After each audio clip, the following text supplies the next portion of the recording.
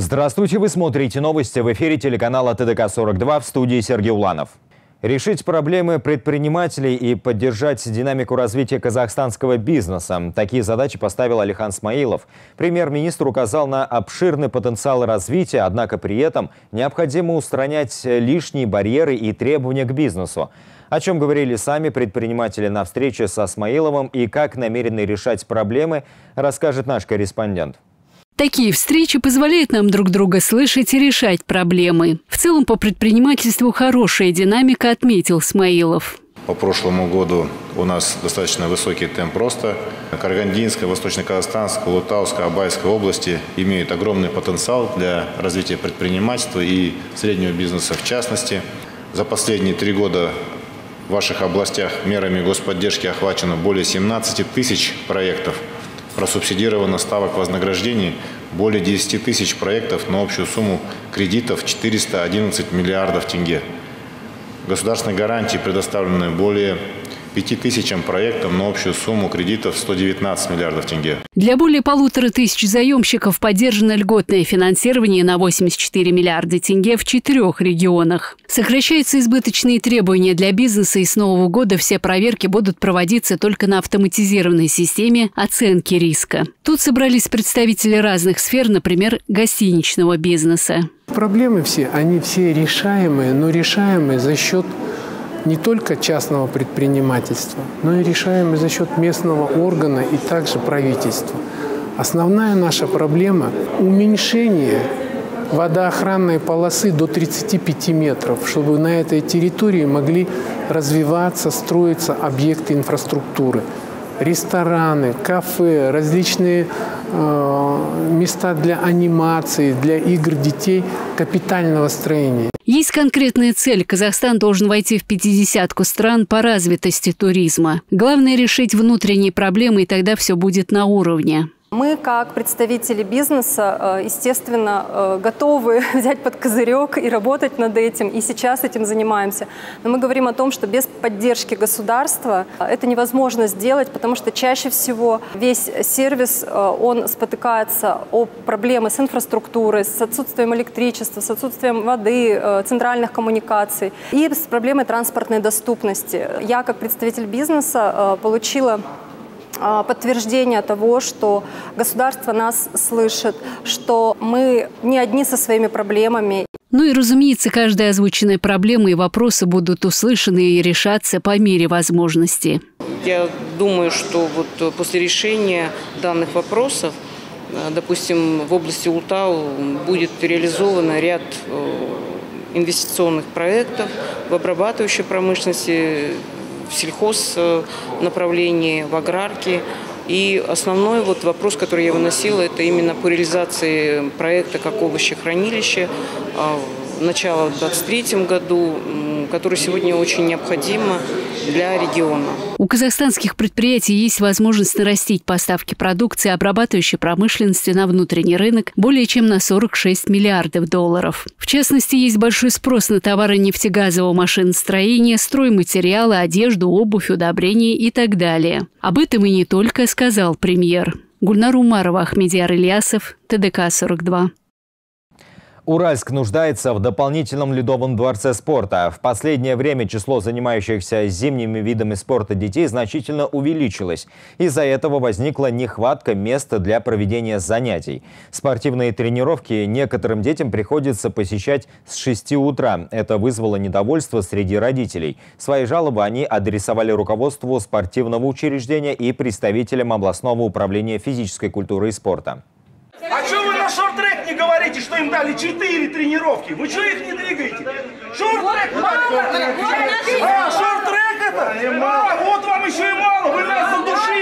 В Ледовом дворце спорта разгорелся настоящий скандал. Родители детей, занимающихся в спортивных секциях по фигурному катанию, шорт-треку и хоккею с шайбой, не могут поделить время тренировок. Занимающихся зимними видами спорта ребят стало значительно больше. Сейчас для занятий просто не хватает места. Из-за этого общий график спортивных занятий растянулись с 6 утра до 11 вечера. Детям младшего школьного возраста приходится посещать занятия с 6 утра. Это создает крайнее неудобство. Вот сейчас маленьким детям нашим ставят тренировки утренние в 6.15 они должны заниматься, а вечером они должны отсюда выходить в 10 вечера.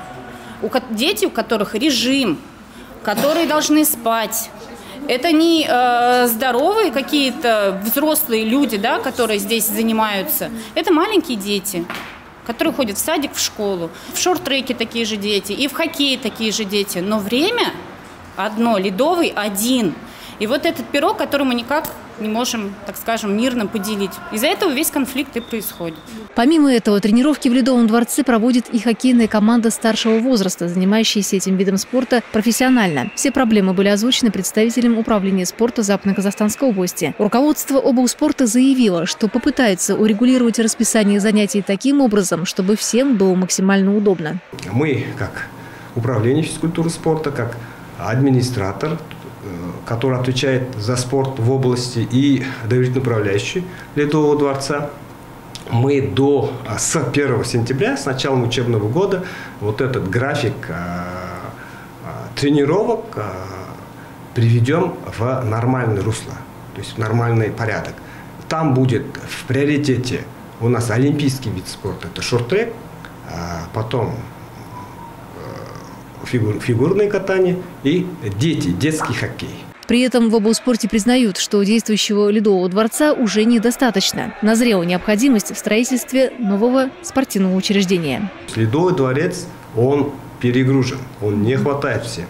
Для того, чтобы обеспечить э, весь всю потребность, нам, конечно, необходим второй Ледовый дворец. Этот вопрос, ну, да, мы как э, администратор, отвечающий за сферу спорта, этот вопрос ставим и будем ставить. Вопрос строительства нового Ледового дворца вынесут на рассмотрение руководству Западно-Казахстанской области. Марина Горбук, Нуруан Кунашев, Асубек Абекенов, ТДК-42. Стихийные рынки процветают в Уральске. Как правило, продавцы, реализующие свой товар с земли, доставляют проблем не только инспекторам местной полицейской службы, но и тем торговцам, которые исправно платят аренду и налоги. В рейд по незаконным торговым точкам вместе с полицейскими и сотрудниками ЖКХ отправились и наши корреспонденты. Стихийный рынок на пересечении улиц Дос-Мухамедова и Кирдере знает каждый. Ежедневно здесь продавцы-перекупщики реализуют фрукты, овощи, мясо, рыбу и другие товары. Есть, конечно, и те, кто продает продукцию из собственного сада и огорода. Совместно с МВД, э, СЭС и отделом предпринимательства ЖКХ проводит ряд мероприятий э, по, э, по нарушениям правил благоустройства территории города так как неоднократно поступают жалобы от местных жителей э, на то, что здесь ведутся незаконные торговли и э, люди торгуют, э, можно сказать, прямо на земле. Частично, да, есть польза, частично мы с этим боремся, как бы все, все сразу не бывает. Поэтому частенько мы проводим такие мероприятия. Практически у каждого продавца на этом стихийном рынке есть предупреждение от правоохранительных органов и даже штрафы. Но никого это не останавливает. Так как они основываются на то, что в рынке очень дорого аренда, аренда. Они продают и мы с ними как бы работаем согласно статье 94 административного кодекса. Привлекаем их к ответственности. Э, на сегодняшний день более 2 миллионов тенге наложен штраф Э, у каждого продавца здесь, который незаконно торгует, больше 15, 20, 30 протоколов составлено на каждого. Они оплачивают этот штраф, мы их изымаем. Соответственно, они, э, среди них есть люди, которые недовольны тем, что мы составляем протокола. Все продавцы как один твердят, что торгуют на улице не от хорошей жизни. Аренда в крытых рынках, а уж тем более в помещениях для них велика, да и проходимости там нет. Я здесь торгую уже сколько лет? 30 лет я здесь торгую. Я никуда не пойду, потому что я здесь зарабатываю. Я здесь детей кормлю. Сейчас здесь э, предприятие бяра закрыто. Куда я пойду? Меня 58 лет никуда, нигде не берут, потому что возраст у меня под пенсионным возраст. Со мной, у меня работник работает. Вот я налог плачу, у меня ИП есть, пенсионное отчисление, все есть. Почему нас гоняет? Вот это наша земля же. Я же, я граждан Казахстана же. Я имею право торговать мне говорят, на неустановленном месте торгуйте. Месяц четыре раза штрафуют меня. Ничего дорого. Мука сколько стоит, знаете? Сахар сколько стоит, знаете? Вот куда я пойду? Сейчас сезон. На зиму я не могу заготовку делать, понимаете? У меня вот сколько, вот женщины многодетные, вот вдова, иди проходи сюда. Кела, вдова, без мужа. Вот одинокая женщина стоит. Сын не работает, сноха не работает. У меня муж не работает, дочка не работает. Куда я пойду? Стихийные рынки – один из проблемных вопросов города, на который никак не найдется решения. В местах незаконной торговли на постоянной основе проводятся полицейские рейды, но продавцы вновь возвращаются на свои места. Дана Киримбаева, Айбула Джагапар, Александр Грабарев, телеканал ТДК-42. В Сырымском районе Западно-Казахстанской области во время весеннего паводка затопило жилье восьми семей. В рамках рабочей поездки в район депутаты областного маслихата посетили одно из ремонтируемых зданий. Жители села, члены Совета ветеранов воспользовались возможностью и обратились с предложениями к народным избранникам. Житель села Уленты Максим Суровцев начал приводить в порядок свое разрушенное паводком жилище. Так как в момент затопления дом пришел в негодность для проживания, мать Максима Суровцева временно переехала в город. Планирую закончить ремонт до осени. Лично мне, в общем, выделили 400 тысяч тенге. Не скажу, что это полностью покрывает все мои расходы, но хоть какая-то помощь.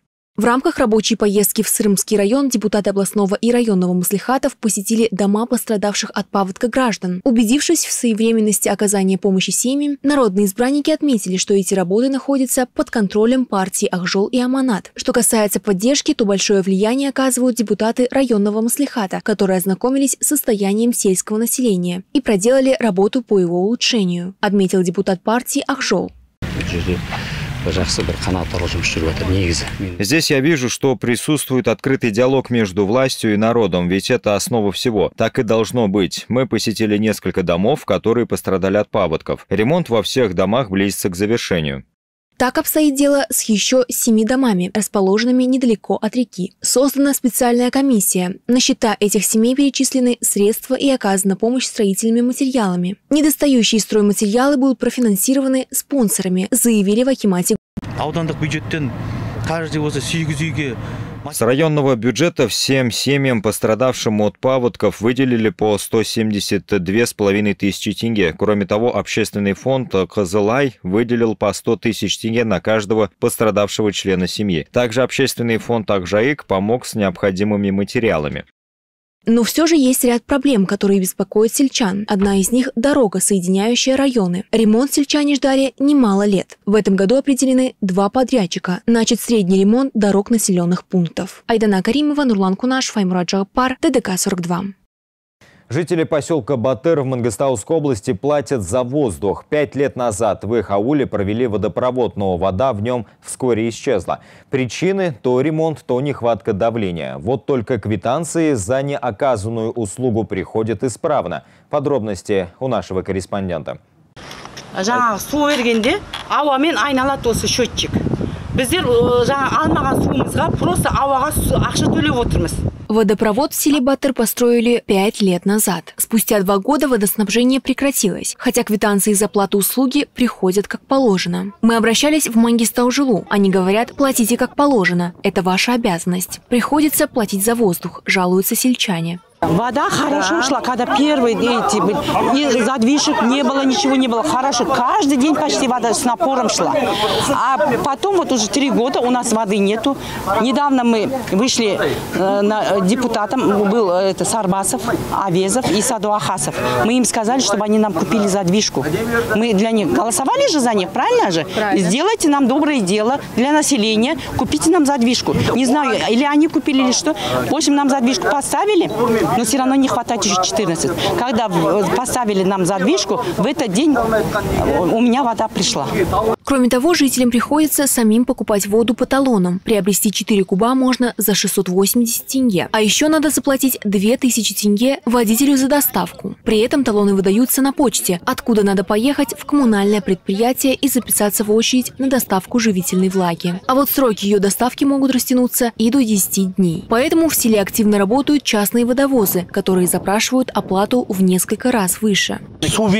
По водопроводу воду должны давать в неделю два раза, но почему-то именно в эти дни у них ломается задвижка либо еще что-нибудь. Я думаю, что нас вынуждают покупать воду. На прошлой неделе люди за 4,2 куба воды платили 10 тысяч. На встречу с жителями приехал заместитель Акима Муналинского района Нурхан Мустафаев. Он разъяснил, что никакого сговора нет. Есть дефицит воды из-за нехватки мощности у опреснительного завода «Каспи». Кроме того, Акимат провел разъяснительную беседу с частниками, потребовав не завышать цены, иначе их возьмут под контроль. В селе Батыр воду дают во вторник и пятницу по часам. Необходимо 22 тысячи кубометров воды. До этого опреснительный завод «Каспий» нам давал 8-10 тысяч кубометров воды. С 20 июля на село увеличили объем до 14 тысяч кубометров. Так как воды не хватает, водопровод задействовать не могли. Сейчас эти 14 тысяч кубов делим на 7 сел. Водовозом Ингостау-Жилу развозят воду. Частным водовозом, развозящим воду по селу Батыр, мы объяснили, чтобы чтобы воду продавали по 2680 тенге. А если они будут продавать воду за 5-6 тысяч, мы возьмем их под контроль. К слову, Акимат района пообещал, что на этой неделе водопровод заработает, и вода жителям будет приходить по графику – два раза в неделю. Только сельчане в эти обещания мало верят и просят вышестоящее руководство проверить деятельность всех участников процесса подачи воды в район. Айдана Каримова, Мухалин Нурдовлетова, Слабек Абикенов, телеканал ТДК-42, Мангистауская область. Больше 200 миллионов тенге присвоил бывший главбух ТО в Мангостауской области. Сотрудниками областного департамента агентства по финансовому мониторингу установлено, что в период с декабря 2021 года по май 2023 года под предлогом оплаты налогов и путем внесения недостоверных сведений в платежные поручения он перечислил денежные средства товарищества на банковский счет физлиц, а в последующем главбух получал их обратно. Незаконно присвоенные денежные средства предприятие потратил на свои личные нужды. В результате преступных действий главного бухгалтера товариществу причинен материальный ущерб в особо крупном размере на сумму свыше 225 миллионов тенге. Следственные мероприятия продолжаются в соответствии со статьей 201 Уголовно-процессуального кодекса. и на информация в интересах следствия разглашению не подлежит. В Западно-Казахстанской области уровень преступлений, совершаемых в общественных местах, снизился почти на 5% за первое полугодие текущего года. Об этом на площадке региональной службы коммуникации рассказал заместитель начальника департамента полиции Западно-Казахстанской области Жанбула Джаншин. О проводимой работе по профилактике правонарушений и борьбе с преступностью расскажет наш корреспондент. По словам Жанбулата Жаншина, одним из факторов, влияющих на совершение уличных преступлений в ночное время суток, является продолжительная работа увеселительных заведений. Основными причинами совершения преступлений по-прежнему остаются нерегламентированный режим работы, отсутствие специализированных охранных структур, систем видеонаблюдения и тревожных кнопок в ночных клубах, ресторанах и барах. Как показывает практика, наибольшее количество вызовов в пульт оператора 102 поступает из следующих увеселительных заведений, как ФСБ, Лас-Вегас, кафе, кафе «Али», Эль Дивина, Девичья башня, Махабад, а также ночной клуб Сибири. Все это создает условия для вседозволенности посетителей и, как следствие, совершения ими различных правонарушений. Увеселительные заведения включены в перечень мест, где ведется интенсивное патрулирование пеших и автомобильных нарядов полиции. Кроме этого, продолжительная работа увеселительных заведений, а также посуточно сдаваемых съемных квартир в ночное время суток негативно влияет на отдых граждан. Только за 7 месяцев текущего года за нарушение тишины возбуждено 1646 административных производств. В местах массовых скоплений граждан с помощью помощью громкоговорящих устройств воспроизводятся аудиозаписи профилактического характера по недопущению мошенничеств, краж личного имущества, соблюдению прав дорожного движения как со стороны водителя, так и со стороны пешеходов. Темное время суток во дворах осуществляется патрулирование с включенными проблесковыми маячками. За 7 месяцев текущего года принятыми мерами достигнуто снижение на 4,8% преступлений, совершенных в общественных местах, в том числе на улицах. Основными видами преступлений являются кражи, грабежи, хулиганство и мошенничество. Комплексными силами полиции, патрульные наряды, участковые инспекторы полиции, инспекторы по делам несовершеннолетних, а также войсковые наряды принято участие в раскрытии свыше полторы тысячи преступлений, имевших место как на улицах, так и в общественных местах местах. Дана Киримбаева, Айбулат Жигапар, Александр Грабарев, телеканал ТДК-42. Это были все новости к этому часу. Смотрите нас в социальных сетях и на сайте tdk42.kz. Спасибо за внимание и до встречи в следующих выпусках. Одежда ведущим предоставлена магазином «Купер». Бутики мужской одежды «Купер» расположены в торгово-развлекательном комплексе «Сити-центр» на третьем этаже и в торгово-развлекательном центре «Азия Молл» на первом этаже.